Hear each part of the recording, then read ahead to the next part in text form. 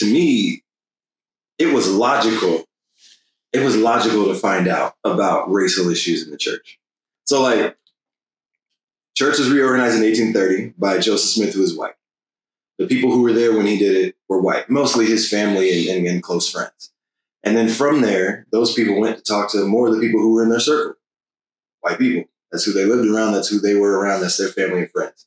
So, and the church is predominantly white in the United States. If you were to tell me in a perfect world now that we made it from 1830 to now and not a single issue of, ra- of racism or racial inequality had happened in the church, I mm. would think Liar.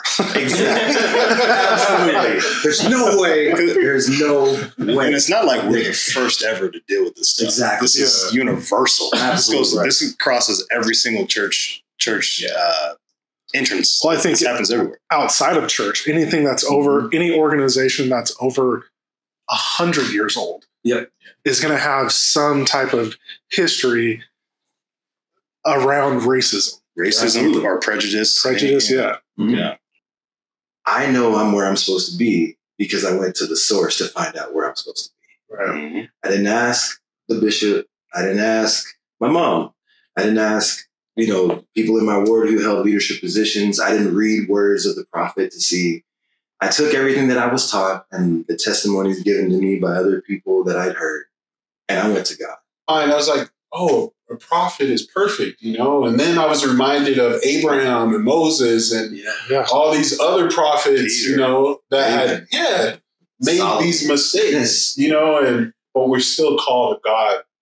And I think when we come across this stuff, which we will, we need to pray. We need to ask for that witness, Yeah. you know? And I think as we do that, our eyes will be open. You guys need to pray.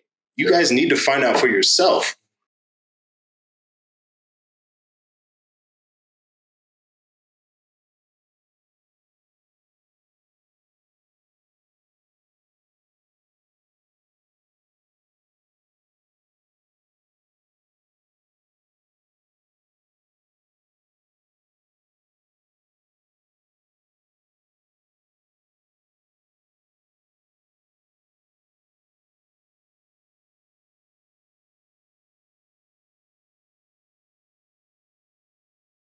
Hey, everybody, welcome to this Brothaz on the Priesthood episode of our series, Brothaz on the Priesthood. I am Crispin, and we are the brothers in the foyer. We've got Andrew, we've got Will, we've got Isaiah, we've got Mo with us today.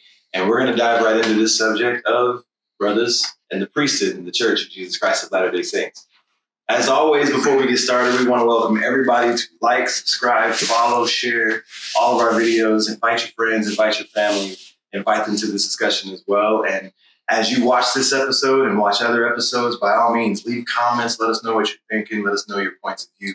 We're excited to hear from them. And today we're going to dive into some of your questions that you sent us about the subject.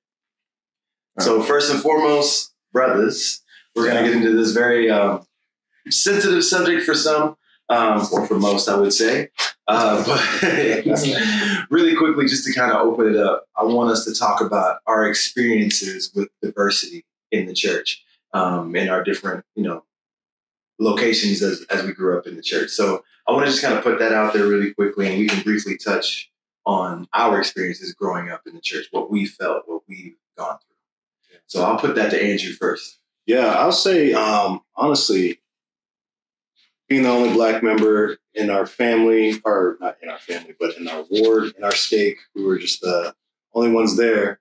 Um, everybody kind of just gravitated to us. You know, we stuck out obviously because we were just like a speck of pepper in a bowl of salt. You know, everybody, everybody knew who we were. You know, but um, I had I had great experiences growing up. You know, I had great leaders, I had great um, young men that I, I went to church with, and young women, and I overall had a pretty great experience. You know, um, and so from that aspect with dealing with race or just diversity, it wasn't really a lot. I think that's just how it goes, just being in this church. And but as you can see now, we're look at this. I mean, it's it's growing. We're we're everywhere, you know, and so I feel like um, having this opportunity to to speak here and talk about how the church has grown, not only from where it was, but to where it is today. So I've, overall, I've had a great experience. That's really interesting. We're gonna get more into to that perspective in a little bit. But Isaiah, for you, how was it growing up in the church and your experiences coming up? How was it from a diversity aspect growing up in the church? Uh, yeah, I mean, I was baptized in Georgia, man, um, in the suburbs of Atlanta. So for me, it was like, uh, I didn't. I was similar to Andrew. Like, I didn't have any bad experiences, or I didn't feel like I was kind of set aside or treated differently. You know, being a minority in the church, um, it was a very diverse area I was baptized in, um, and at the time, uh, I didn't know any uh, difference in terms of the history of the church um, and what the black members at that time faced and coming up. So for me, it was just like a great experience, man. Like I was baptized. I knew I had um, faith in the Savior. I knew that this was His church, and so it wasn't until I actually moved out here to Utah to where I started to hear more so about um, the history of the church and some of the challenges that um, Black members face, you know, in the history of the church. But yeah, I personally have not had any bad experiences that I can think of um, that just kind of I, where I felt isolated, you know, um, as a member. It's also interesting as well. Um, Eye opening for me because I did go through um, challenges when it comes to diversity in, in, my word, and just like a lot of what you said, and I believe Andrew said it as well. We're the the black speck in the song right there. My family was the only black family in the entire stake for for a while. So we go to stake conference, and this is back before you could watch it at, at the house. So that, that, tells you how old I am, I guess. But um, you used to have to go to the stake center to watch general conference and things like that, or you know, stake conference in particular. But you look around, and it's just us. I grew up in Texas, Dallas, Texas, so we did have um, a Spanish speaking ward. So there was Brown, but it was like the assumption if you saw anybody brown, it's like that's the Casa Linda ward. So already know who you are. and then there's us, who are obviously not in like Casa Linda ward. And so we were the we, we stuck out a little bit. Um, so I didn't grow up with experiences in diversity, meaning like I could see diversity. My experience was we were the diversity. Yeah. That was it. It was just right. us. So anything that was different than the norm was us. And it was pointed out to us in a lot of different ways growing up. Some completely overt and direct, a lot that was subliminal. And as we were kids, there was a lot that we didn't hear that our mom got to hear. Because not only were we black and different, my mom was a single mom with children. And that, from a stereotypical standpoint, is also different uh, from the church, as the church, uh, you know, preaches about families being whole, being together, father and mother in the home. We were that exception as well. So there was a lot about our family that was diverse from the norm. Mm-hmm. And it's not like it was constant, but I definitely had my experiences where it was like, oh yeah, I am different. Oh yeah, I am different in this space yeah, as well. So that was that's definitely my experience. But Will, how about you?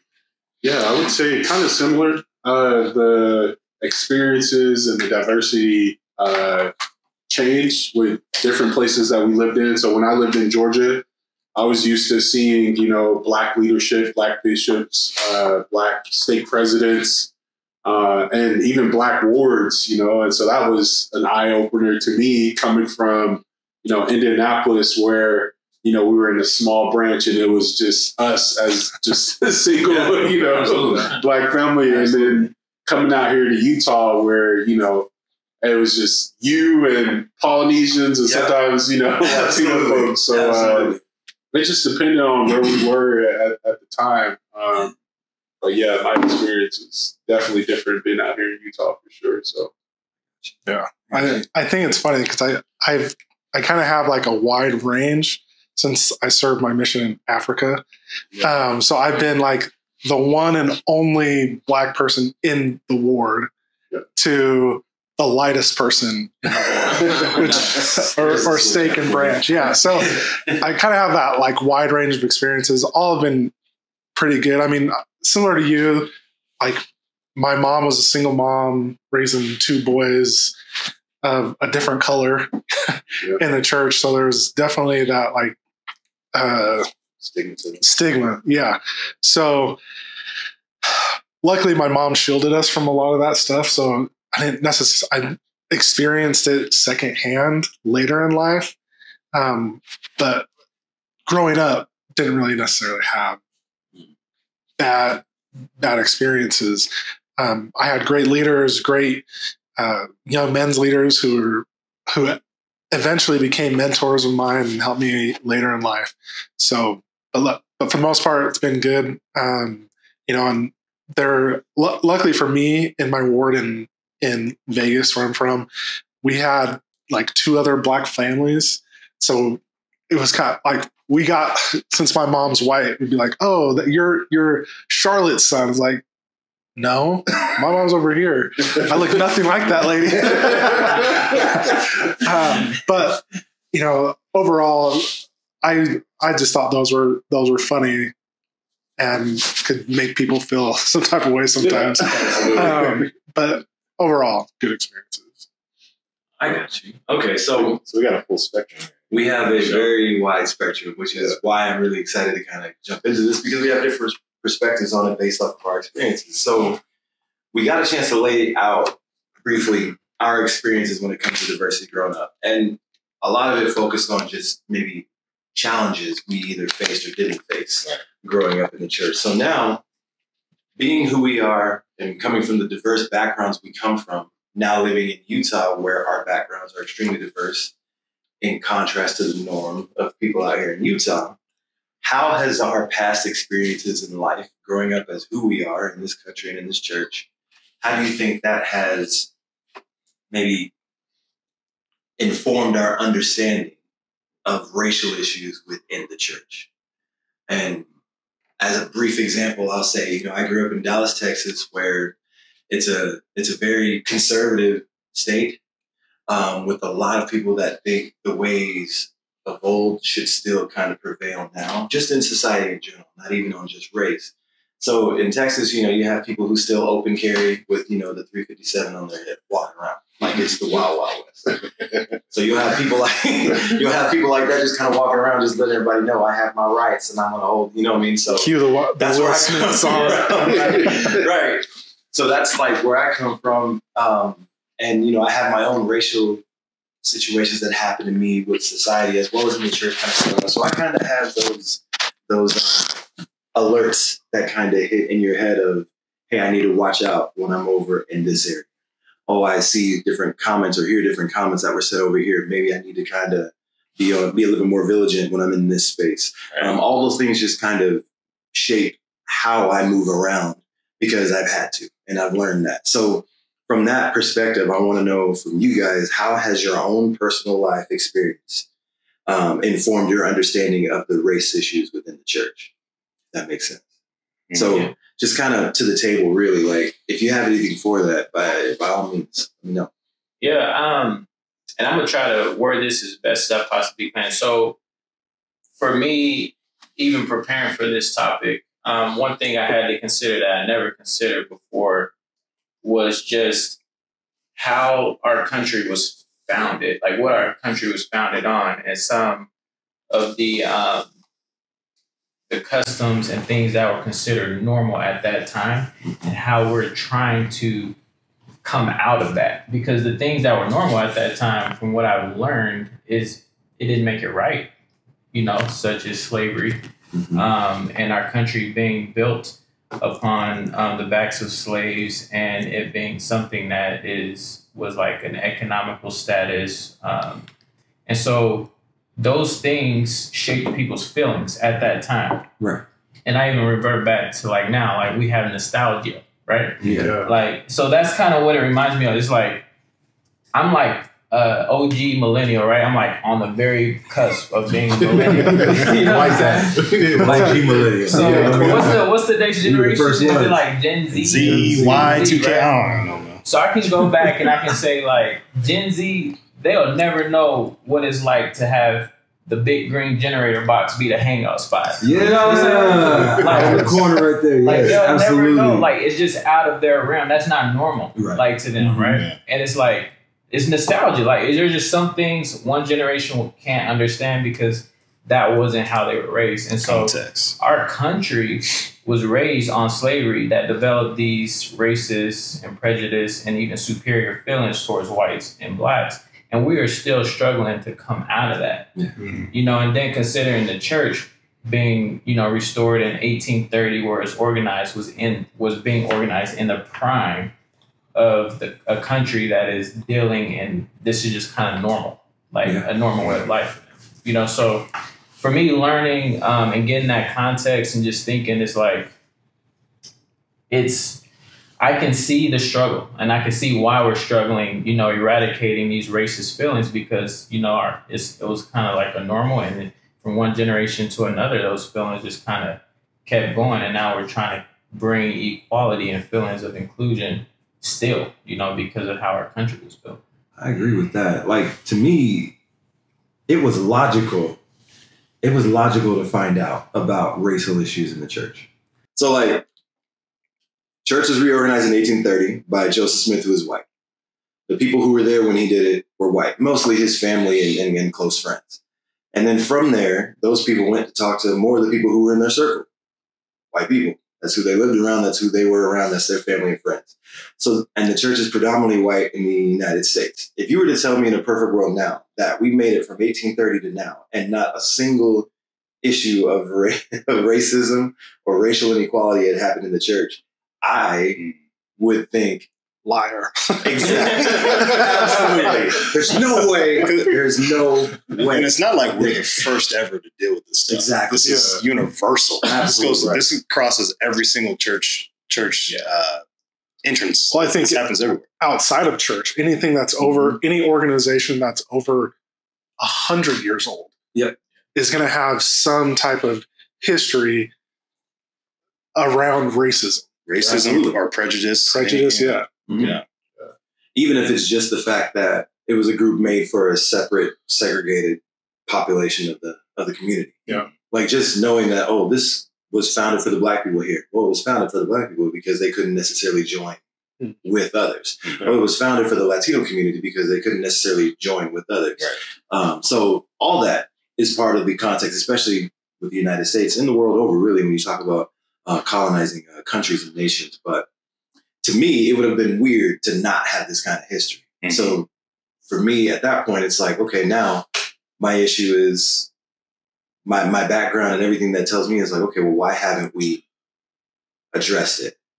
That was my question, kind of going growing up. Yeah. it's here. It's obvious that it happened, Mhm. but it doesn't seem to be prevalent that there was a period of us talking about it, addressing it, and then getting over It's it. kind of that thing That that kind of was swept under the rug or just kind of Yeah. Avoided it because it was biggest- uncomfortable. Yeah, absolutely. So yeah, I love your perspective as well. Sorry, Will, what do you think? No, I, I agree. I think uh, the first time I actually knew about, you know, uh, black people being banned from the priesthood was actually on my mission, and I was 22. You know, the first time that I knew about, you know, some of our past presidents owning uh, enslaved people was when I was 25. You know, and so it's. I think the more we know about what has happened in the past, the more we can be greater as a society, as a people. And instead of hiding that and not informing people, we need to have these open discussions so that we can all come together and we can learn from the past because there's definitely things that we can we can do to make our current situations better. Um, but yeah, that's that's just kind of my thought. Just you know, when when I first initially came across it, I was I was shook. You know, I was like, well, how how are we the true church, but we're still struggling with this. Mhm. But then when you have the context of, you know, what where America was at that point in time, it opens a whole nother discussion. And so I think keeping that context, but also, you know, knowing that, you know, men are fallible, um, but having that that perspective can really change a lot of things for sure. So Yeah, yeah. There's there's two points that you that you said about you know context and of the society at that time. I mean, we we can't. I think it's really important for us to not to pile too many people in that in that time period or say everyone was that way because there was abolitionists. There were people like who were like, "Hey, I think equality should be for for all all men." Yeah. I mean, we have members in our church who were that way. Orson Pratt, there's Sidney Rigdon, Joseph Smith, obviously. Right. They wanted everyone to have the equal opportunity to come closer to Christ and be able to receive the gospel, the priesthood, et cetera, et cetera. But also, there's the opposite. There's a, there is people who are like that as well, who are like, no, they don't deserve none of that. They are less than the dirt, you know. And then the the point about you were saying about how it's important for us to approach and pretty much accept the ugliness, the the shadow, the thing we're sweeping under the rug. President Nelson is over hundred or not over hundred, about to be hundred years old. You try to imagine the things he saw or the things he's heard, or maybe he was really sheltered because he was in Utah at that time and in a very small town where he didn't really get to see any of us Mhm. or really only heard what was on the tube, you know. And so the thing, and he comes out and saying, root out racism. You can only root out something if you dig into it, or lack of a better analogy, you know, just look at it and being able to inspect and then say, this is what it is, this is the root of it, and then get it out. You know, and so I think it's really good that the church and that we're trying to go into or into this and look at what's there and go beneath the surface and try to make these things better, you know, and try to make that um, come to grips with just what, what happened in the past and, and continue to make those steps forward of staying why and understanding why we're here, why we're stay. I feel like that's the complexity of this topic because in order to really get an understanding, you, you have to be able to look at it through the lens of different time periods, different people and perspectives. like you mentioned, like everybody didn't have those same feelings and perspectives, even though they were in that time period, Yeah. even though that may have been like the dominating norm or custom at that time. Hmm. And we see that just through reading scripture. It's like this was these are books written by people of a completely different nationality in a completely different region. They had different customs. So the wording may be hard for us to understand. Like if we really dig into their history, their past, do some, you know, some some research, we can then begin to see their their lens, right? And their Exactly. point. And I feel like to at least find comfort on this subject, we have to be willing to go back, you know, do our homework to get some perspective then, and then bring it back to our air, you know, and try to fix We, we can't look at scriptures through like face value, just Yeah. right here and Yeah. look at what's on the page. You have to know the meaning behind the things, the context, the historical context. There's a lot of that, that I think people just don't take the time to do, you know, and I think that's where we understand more when we actually do research and search the scriptures. We can learn a lot more. Yeah, one of the things that you brought up for me was really big for me on my mission when I, similar to you, found out. Like I kind of knew there was something because my dad told me, like when I was in high school, the only reason he wouldn't join the church was because the church was racist towards black people, Mm. and I was like, when? like, like I just didn't, I hadn't experienced that Yeah. really. Yeah. You know, like there, I mean, people, I, I guess I viewed it more as a church doing something to us rather than people, which Right. people have done that. But Mhm. for me, like, I really, really found out about it when I was on my mission and hearing talks from like, uh, McConkie and things that he would say back in the day that were crazy, you know, Mm. um, Yeah. if we think about the light that we have now. And my, I guess my first question back then was, has this happened before? Yeah. And one of the things that gave me a little bit of comfort looking at that historical context is if you look at the tribe of Israel, Yeah. there's only one of the tribes that were had the Aaronic priest, Yeah. right? Levitical.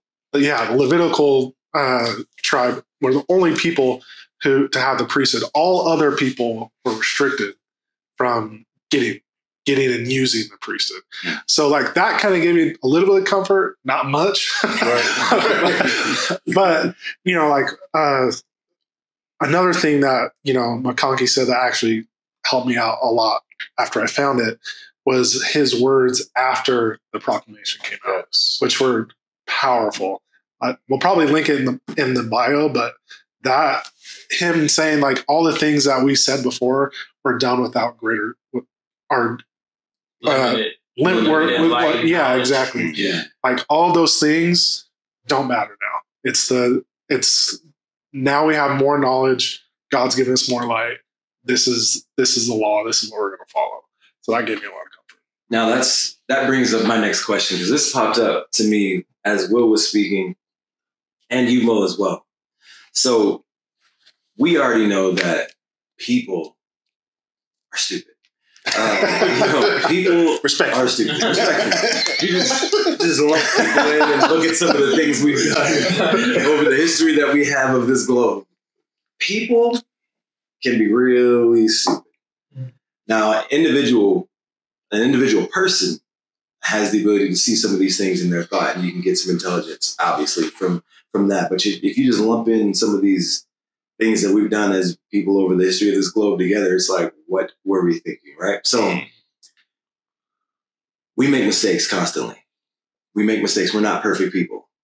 The the people who hold offices and positions in the church are also imperfect people as well. So we have people that are in these leadership positions, namely prophet and or president of the church uh, in particular, who do their best to try to follow God because that's what the office and the position says they should do. But at the same time, they're trying to do their absolute best that they know as well. So they're mixing in whatever knowledge they can receive from God along with their own thoughts and abilities on how things should go, right? And here we are in the church, and we're talking about the history where, for a large period of time, up until 1978 officially, um, people of color, namely black people, were not able to hold the priesthood in this church. Didn't start that way, but somewhere along the line, that was that restriction was put in place, and it wasn't lifted officially until 1978. So my question is this: When we go back and we listen to the words of prophets and apostles and people who have held these callings over the years, knowing their position, maybe, or hearing some of the comments that they had before that light and knowledge came, and we hear those those teachings from these people, should that affect our view or our take on their direction? And what I mean by that is, if we go back and read some of the talks from Elder McConkie, and this is before, you know, he kind of changed his point of view on it before that revelation came. Do we take it as word of God, or do we take it knowing the person that it came from, flawed as that may have been? Because in reality, knowing that history, I'll speak for myself, it's limited my ability to just kind of follow the words that were given in the general conference sessions or things that were that came out from certain prophets and apostles. I look at them and I'm just like, you know, like Mm. maybe that to me that should have come from somebody else Yeah. in my own head because I know some of your history that's that's been out and, and your viewpoints on certain things. So to hear that from this person or that person is like, I don't know if I'm fully with that. Yeah. When it should be, we should have faith and trust in these people doing their absolute best to give us light and knowledge from Heavenly Father and Jesus Christ. So my question is, should that affect how we receive that knowledge, knowing that it comes from imperfect people? Yeah.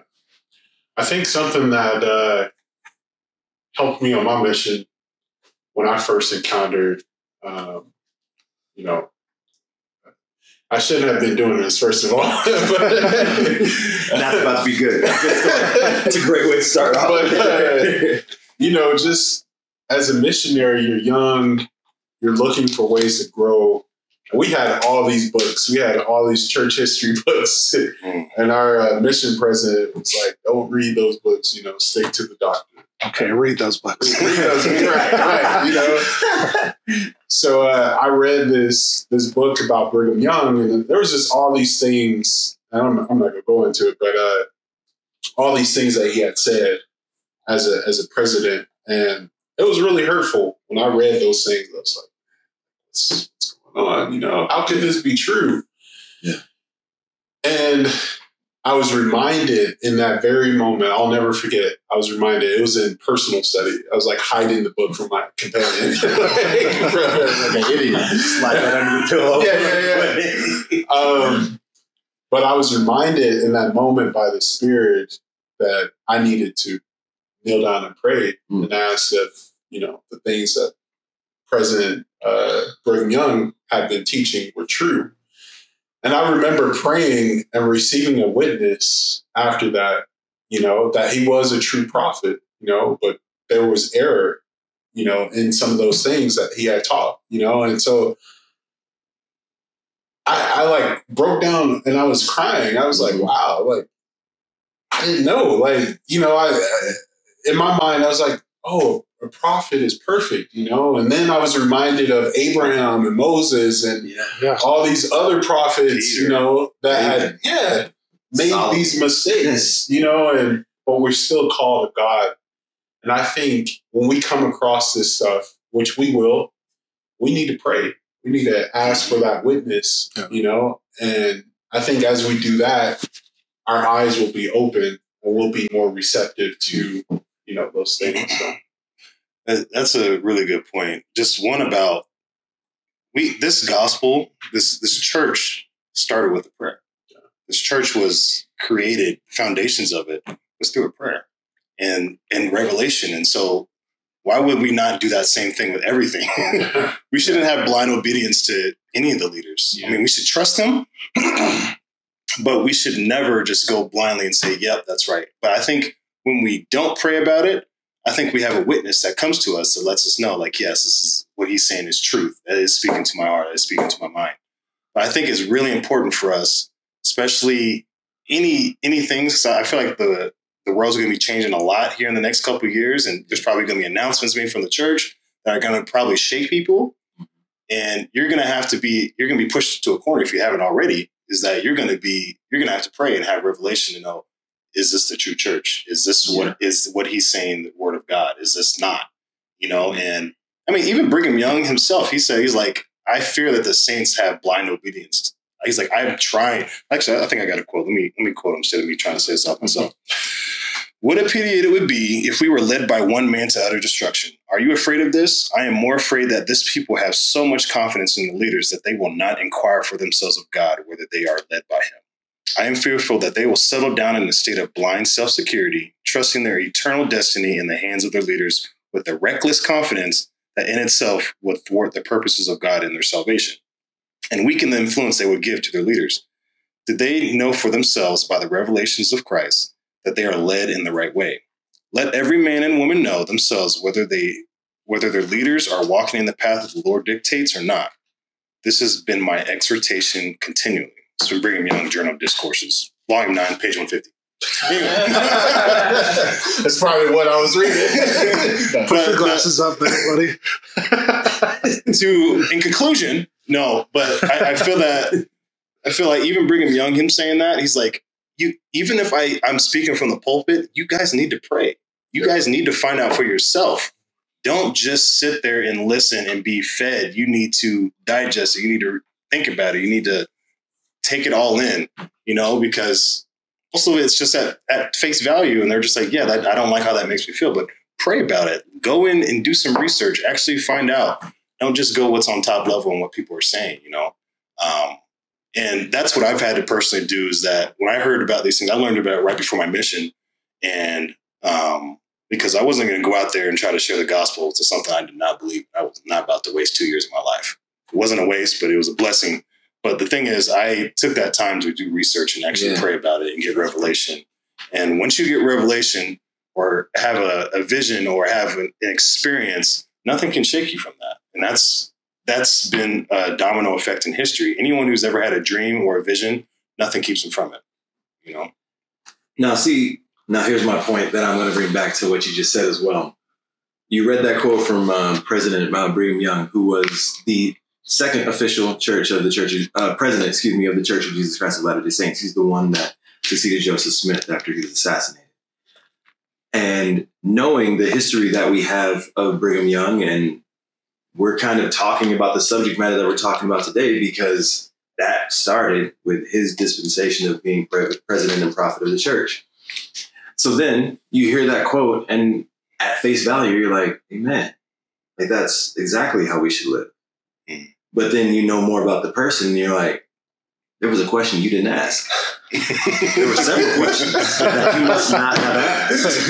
but then that's why he said you shouldn't pray. You know, if I'm thinking about it. so I understand that. So that's why you're like, so you're hearing, and you're like, yes, that's good.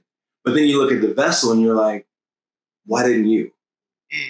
So how do you then navigate those feelings as you look for further Yeah. light and knowledge from the source itself? You know what I mean? Yeah. And that's kind of part of some of the questions that we have now because people will ask, and this is my next question for all of us here is why, knowing that history of the church, would we still be here?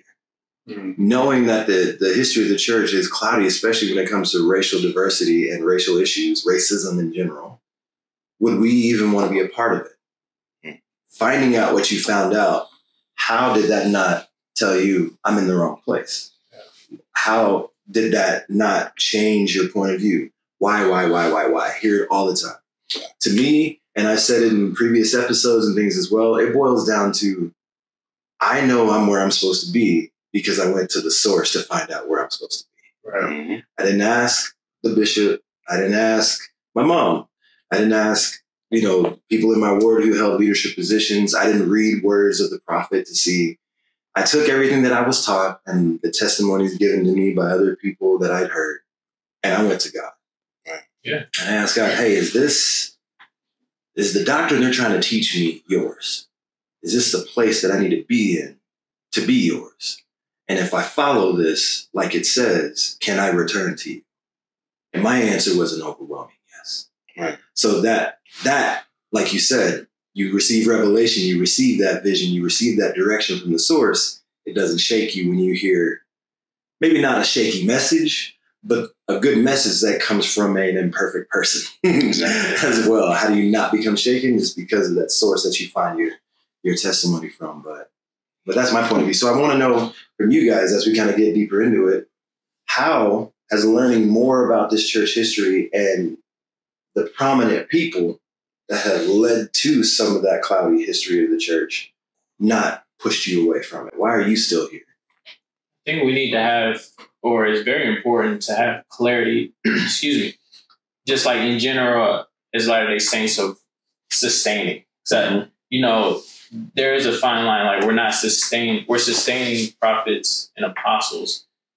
Their mantle. We're extending, we're sustaining the mantle of prophets and apostles, um, and that anointing by God that they are called of God. We're not necessarily sustaining the man himself. I mean, there's clear indication of this um, in the Bible with David and Saul. Like Saul was anointed king and prophet at that time, and David refused to raise his hand upon God's anointed, even though he was trying to murder him. Mm. You know, God, or sorry, David sustained Saul in that mantle of God's anointing. And I feel like, again, we've kind of all touched on it a little bit here is that when prophets are speaking, you know, we it is our responsibility as individuals to go to God and get clarification and revelation from Him that what they're teaching is true.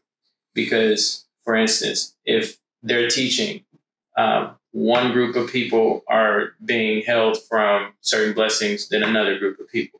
Well, this book here tells me all men, you know, that God treats and sees all men as equal. His his hand is extended out to all men. Mhm. But yet I have a person who's in leadership that's saying, well, these group of people aren't gonna have the priesthood for a while.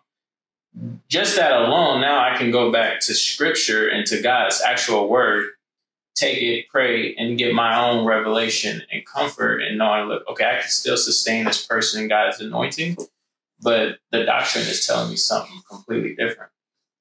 And um, I'm gonna pass it off here, but um, again, preparing for this subject, that was the thing that really stuck out to me when I learned about how the ban was actually lifted, is because President Kimball at the time was the only president through all those years that re, that sought unanim, unanim, help me with this word. Unanimous. unanimous or unanimity, if that's the word I'm looking for, with the 12 and himself, that they all needed to be in agreement. Um, and he sought uh, revelation. No prophet up to that time has sought unanimity and revelation on the subject. They were just kind of going off their own feelings and um, and teachings at the time and sustaining previous um, prophets and, and teachings. And so that was the one thing that really stood out to me is that they actually sought God's and inquired of God to receive that revelation. And prior to that, it hadn't been done as a whole and, and as, as a sustaining quorums. I think this this is an interesting question because for me personally, there's there's a lot I had to get through to get to the why, right? Mhm. And like how Crispin, how you said, like it really comes down to knowing for yourself. Right. Is this the right place to be? Um, when I asked that question and I prayed it, prayed about it, I got a, an interesting answer when I was struggling through this. And one of those, like through my through the answers that I got, one of the things that was really big is like there have been other prophets who have literally killed people.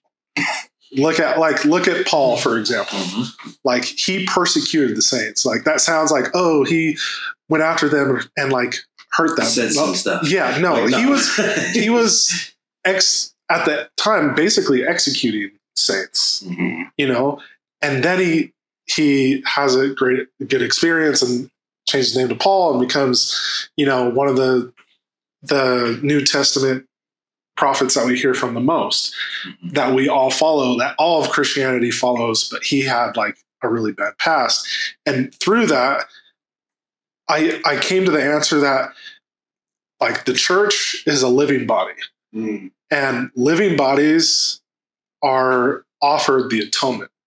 Yeah. They so we if we want to accept the atonement, we have to also be forgiving.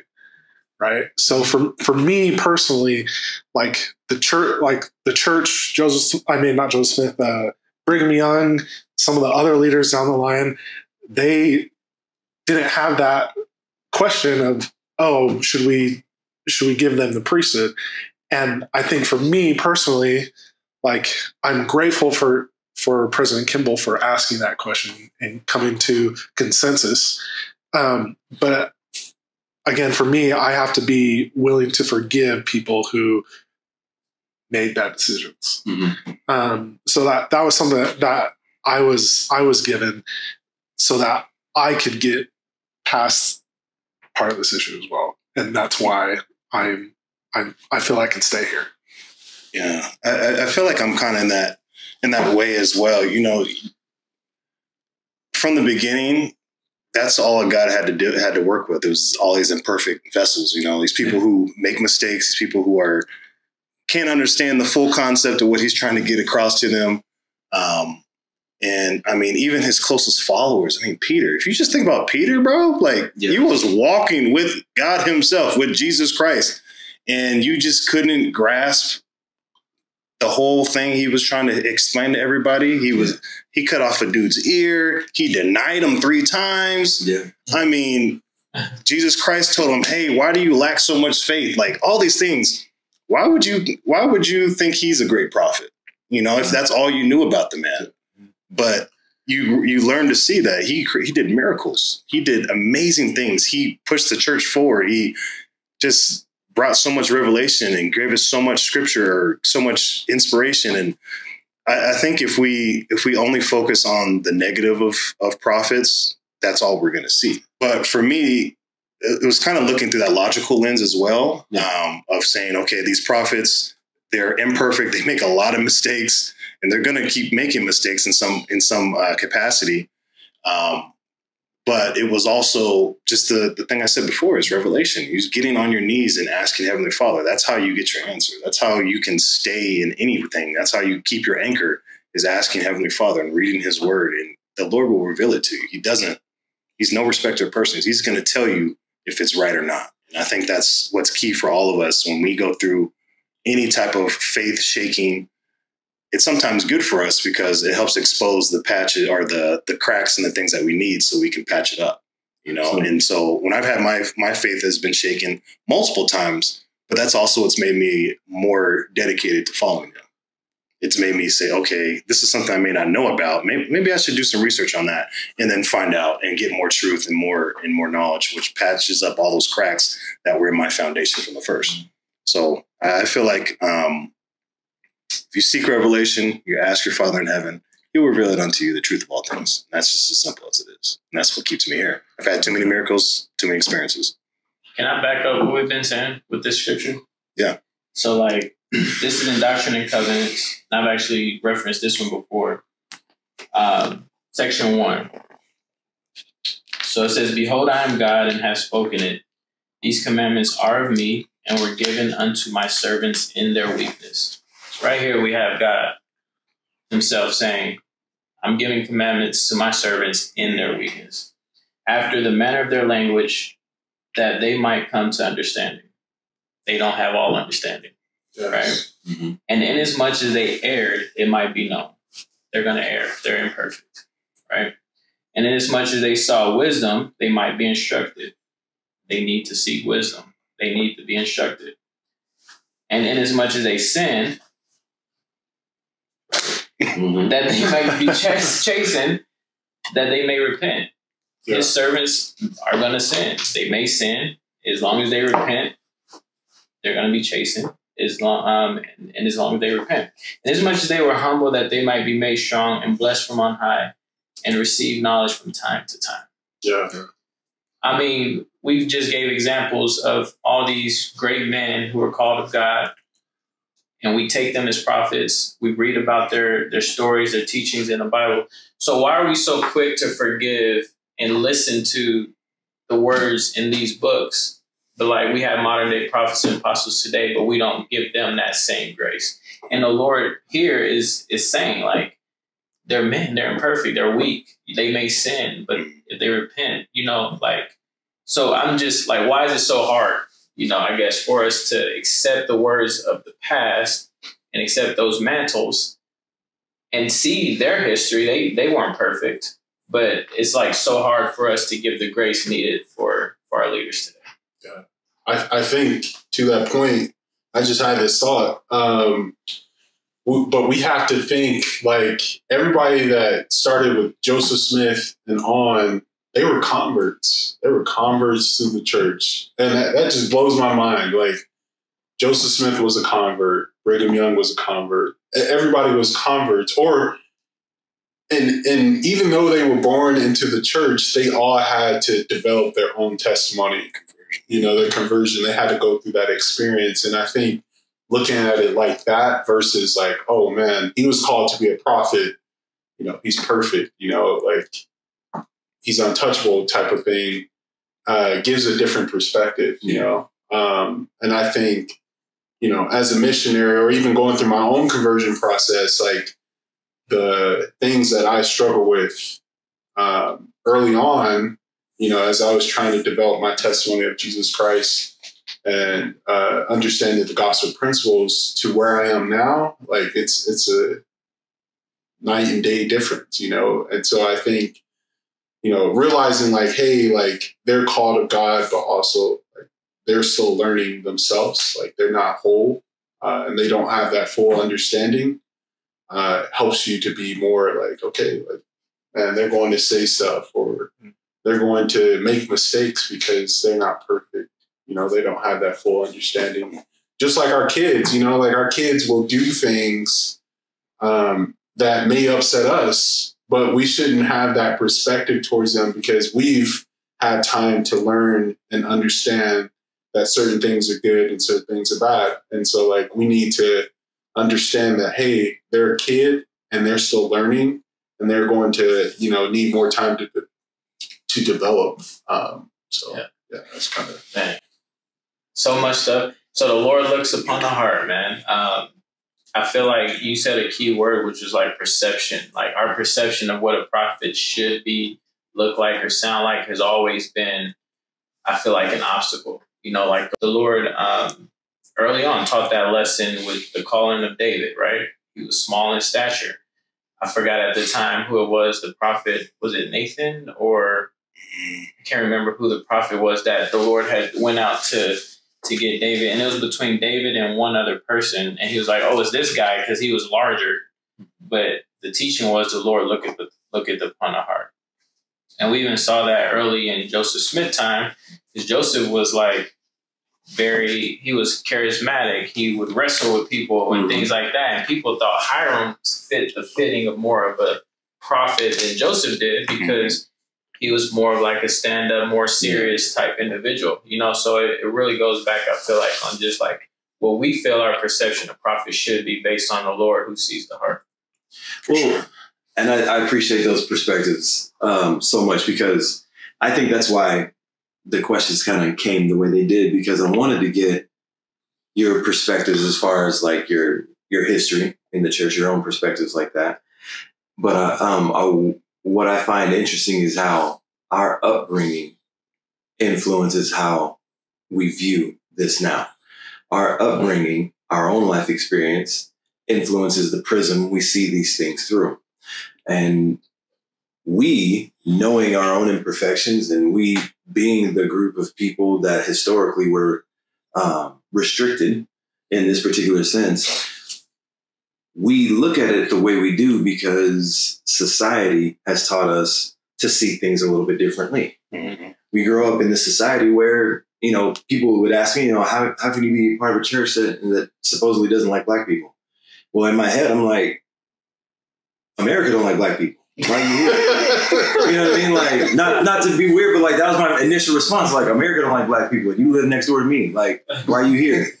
well, because it, exactly. So it's like there's, it's not that cut and dry. You know what I mean? Is was my point that I would like say to them. It's not. It's not just cut and dry to say the church doesn't like black people because that in and of itself is also incorrect. Although finding out the history about the church, people get that point of view. Mhm. Like, how could you be a part of this church and they didn't even want you to be a part of it? I'm like, I got the priesthood. Yeah. I married my wife in Mount Timpanogos Temple, right up here down the road. Like, I don't know what you're talking about. And then they bring up the history and things like that. And I'm like, well, you know, look at this country. Look at many countries in the world that were colonized by um, European countries. And, and the issues that are there, those are societal. Those are societal issues. And it's hard not to mix that together. And which is why I loved your context comment that you said earlier about just looking at it through its actual context of the time. This is 1830. The Emancipation Proclamation wouldn't even come for another 35 years. Mhm. Exactly. And we think it's weird that somewhere along the line somebody was like, "Black people shouldn't have. To me, it was logical Yeah. that this would happen. And it was still a struggle, even after the. Emancipation Proclamation. Absolutely. Things still weren't, you know, ideal. So, Absolutely. So then, you know, you, that's why I was like, so how, does that, should that affect how we look at the people in leadership? And the reason I ask that is because we should have a way of just seeing past the person for the imperfections that they are and taking It's hard, our though. concerns with God. And it is hard. Yeah. It's so hard. But at the same time, it's questions that brought about the church, which brings me, I'm see, look at God. Let me, like I said right now, just look at God and how this all worked. All Your comment led to your comment, which was the reason why that question I feel like was put in my mind to ask because we got the context, and then your comment. This church started on a question. We don't have the Church of Jesus Christ of Latter-day Saints. If Joseph wasn't walking around in all these places, like, is this the way it should be? Like, where should I go? I have all these churches saying I need to be here, I need to be there, I need to be there, and I don't know which one to pick.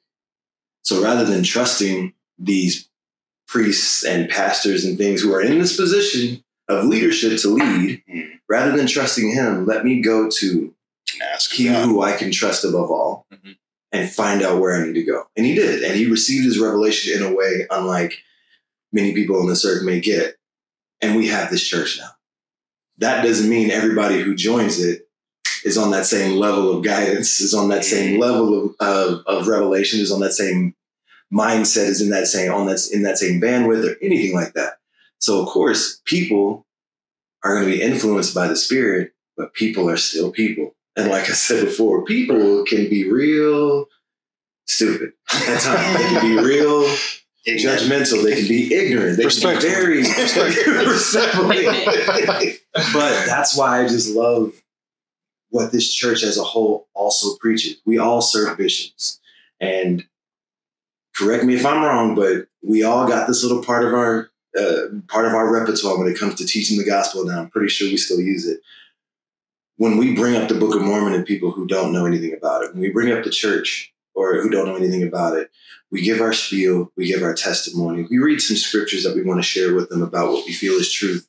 And then we end that by having them read in Moroni, where the scripture says, read these things, ponder them in your heart, ask God in sincere prayer. And after you ask, await his answer. And whatever that answer is, go with it. That's what missionaries do. As people who've served missionaries, you you understand this. Yeah. We went to people and said, "Don't just trust us. Ask God." Yeah. And when He answers, follow it. That's why I'm here. I feel like that's why we're all here, and that's why we're working our way through this issue. But like you said, it's not. It shouldn't be difficult.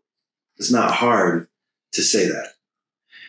We're human, and it is, but, but it shouldn't be because none of us are perfect. Yeah. Jesus Christ is not here. He's not physically on the earth as the president of the church. It's President Russell. Nelson, who is a great man for all the things that he's accomplished here on earth and all the words that he said and the feelings that I've got from him. I feel like he is a real prophet, striving his absolute best to lead God's people in the best way that he can. Mhm. I feel that with almost every fiber of my being when I hear him speak. But there's that societal upbringing that we all have wired, being black people in America or black people in this world in general, that still says that's a white dude. And he's almost 100 years old. I wonder if this was always his mentality, you know what I mean? Because what was normal for him as a kid is what we're talking about now, but that should not matter. Yeah. Because goal, we're not man. following him per se. Mhm. We're trying to follow him who he's trying to guide us to. So, um, And I think too, we're all on this. We're all on a path to become more Christ-like. right. And so, like in the in back in the day, people probably weren't as Christ-like because they had hate in their hearts for people who didn't look like them. Yeah. Mhm. And so, like for Russell M. Nelson, I'm sure I'm sure he didn't hate people of different color. I mean, I can't tell you that for sure. I don't think so anymore. but he's on, he's definitely on a, a path to become more Christ more Christ like, and I think that's where we all need to we all need to get there. Mm-hmm. You know, we all need to be on this path, mm-hmm. and like like I said before, like the the church is the church is a body of people, Yeah. and so the church is still on this path to become mm-hmm. as a whole to become more Christ like. Mhm. One thing about people when they say the church is true, the church is imperfect. It's full of we are the body of the church. Like we, it's full of imperfect people. Yeah. So stop calling it true. The doctrine is true. Right. Yeah, You know, and so people are saying the church isn't true. Well, yeah, there's a lot of people who make mistakes in there. There's a lot of people who aren't in there, but the doctrine, the gospel, The gospel. this Yes. is never changing, never ending, never wrong. This is what it is, and it's nothing wrong with it. It's the truth. And I, feel like if we try to separate those things and understanding that when you walk in between, walk in those double doors, you're going to see people who are imperfect. There's going to be people who are on their path, trying to go through that covenant path, and it may be kind of narrow for them. They may be taking their step off and they're trying to get back on it, but they're in the process of walking towards that way. You know, they're going on the path. They're trying, and I think if we give people that grace just as much as we need it, how much more would it be easier to just stay in the gospel and to live it? If we give people grace that we're still needing. I love that because this is my last point with it is we're all on the covenant path. We're all imperfect. We all have our own sins. We all have our own issues. This particular one we're talking about is seemingly obvious. Yeah. And that's why it's such a big deal because it seems logical to say it says all men, all men should. You know what I mean? So so the issue of racism seems very obvious that we shouldn't think that way. So that's why I think people have such an issue with it. So let's take it back to the same old adage that we've probably all been told by our parents or leaders or anything like that. What if we were walking around and on our forehead you could see our deepest, darkest secret? Mm. And we wore that on our forehead. How would you live life then? I mean, With we're everybody knowing- How would you walk around at that point? Like if everybody really knew what your issues were the way Yeah. God does, would they look at you like that? Like if I'm up there bearing my testimony because I know God is real and and I'm feeling and I'm in this moment, but at the same time, the issue that I might be going on just because I'm not talking about it right now, or the issues that maybe I just came through are sitting right here too, does it get received the same way? Hmm. Probably not, because everybody gets to see your imperfections. But that's not stopping you from getting to Him. The atonement is there for all living bodies. Yeah. We're on our path towards Jesus Christ, which means there's a there's moments of sanctification. There's moments of chastisement. There's moments of all these things where Heavenly Father has to look at you and be like, bro, get your stuff together. Yeah. You know, you need to get yourself right so we can get back onto that path like we should.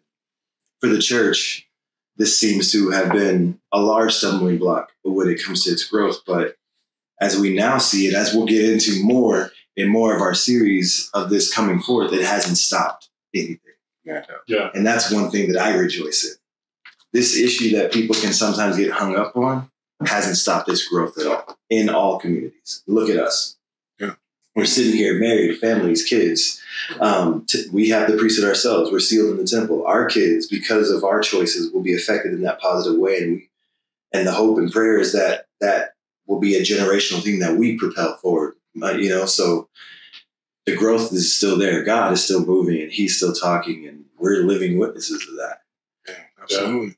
We're seeing that you know that change happen now you know where you know we're able to walk into a church building and hopefully not uh, but we're, we're able to walk into a church building and we're able to hold positions uh, you know we're able to see men that look just like us that uh, are able to serve in you know uh, leadership positions and things like that uh, to that nature uh, and you know we have prophets and apostles that are constantly uh, talking about ways that we can improve you know and become more diverse and, and more uh, a, a worldwide church. And uh, i think like you said crispin I, it, it is it's, it's rejoicing to see that uh, around us uh, especially at our age you know where we grew up in an era where you know in certain wards and certain places where we didn't see a lot of us. And so being at this table with you, brother, and uh, it's amazing. I, I never saw this uh, in the future, but uh, Never know. we moved to Utah. This was not what I thought was going to happen. Utah. You know, I, I just one last thought. I, I think it's really important is that we talk about how we don't, or our brothers or sisters, back, brothers back then didn't have the priesthood. But look at us right now. We all have the priesthood.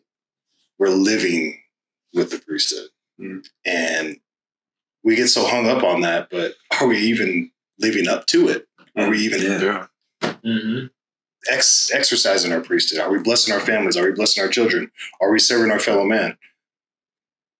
No matter what race you are, you're probably not. You know, you're, you're probably not fulfilling it to its full measure as it needs to be. I mean, Yeah. President Nelson, I think like three or four years ago, he gave uh, a talk that. about say, men, we need to do better, Oh yeah. Oh, absolutely. Yeah. and that was a that kick. to the core. Bruh. Yeah. you know and so if, if it's uh, if it's universal across everything and we have this opportunity now let's not just only focus about what the past but let's let's start to step into the present now and say what can we do better with what we do have the gift that we do have now let's make it better let's get into the temple let's bless our families let's bless our children let's bring more brothers into the into the gospel let's help more brothers get the priesthood so that they can bless their families and so on. You know i think it's really important for us to always take that step and step back and realize like hey what can i do now since i do have it? How can i bless someone and step in and be an extension of god's hand? We've been discussing during this whole um, show in terms of um, now being able to see the priesthood ban and just issues with race and the priesthood in general um, through the lenses of the time. So that way we can at least get some comfort in knowing that, you know, things weren't the same then as they were now. Um, this is a scripture, and I know I didn't give context on the last scripture I shared from Doctrine and Covenants for our audience who aren't aware of um, our standard works. But Doctrine and Covenants is just revelation that we have um, that we use in the Church of Jesus Christ, Latter day Saints, uh, that was given through Joseph Smith and other leaders for our day, for modern revelation.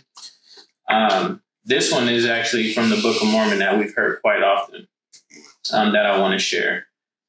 Um, For none of these iniquities come of the Lord, for he doeth that which is good among the children of men, and he doeth nothing save to be plain unto the children of men. And he invited them all to come unto him and partake of his goodness, and he denied none that come unto him, black and white, bond and free, male and female.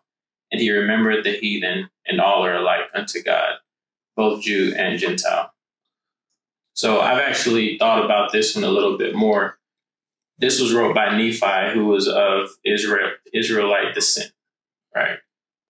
More than likely, he didn't know nothing about black and white in terms of race at Right. that time Yeah. when he wrote this. But I know we use it because, again, we liken all scripture unto ourselves. So this is something in our time we can relate to. Yeah. But could Nephi really have related in terms of race, black and white, in his time when he actually wrote this? No. No. Probably. Something to think about, right?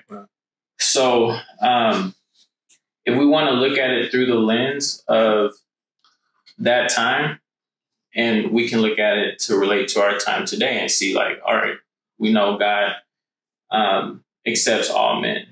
Now, looking at it through the lens of the Lord, I want to share this other scripture. That way, we can see there's like a pattern, right? Yeah. Um, of how the Lord gets His message across, so that way we can see like the actual doctrine behind this.